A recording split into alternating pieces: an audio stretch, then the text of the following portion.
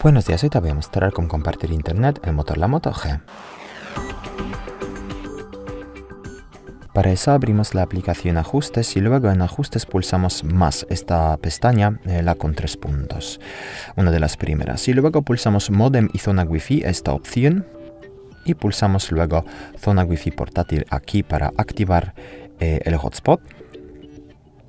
Si pulsamos más abajo configurar zona wifi podemos aquí cambiar el nombre de la red y también cambiar y ver la contraseña.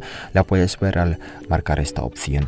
Y pues también aquí introducir el cambio, cambiar el, ah, la contraseña luego pulsar guardar para guardar los cambios.